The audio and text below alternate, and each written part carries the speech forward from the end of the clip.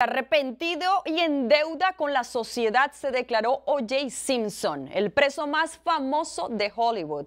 A sus 70 años no es ajeno a los circos de los juicios televisados. Juan David Rosso nos cuenta cómo hoy respira nuevamente aires de libertad. Después de nueve años, O.J. Simpson sonríe y agradece al juez salir libre bajo libertad condicional. Esta es la segunda vez que el exjugador de fútbol americano logra evadir una sentencia mayor.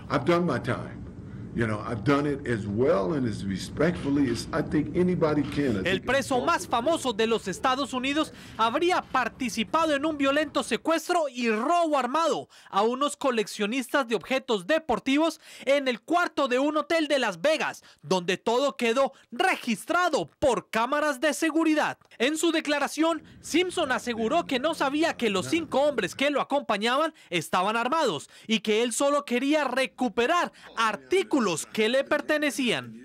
La exestrella de los Buffalo Bills de 70 años protagonizó el juicio del siglo después de salir limpio tras la muerte de su esposa y el amante en 1995, un crimen perfecto que aún sigue impune.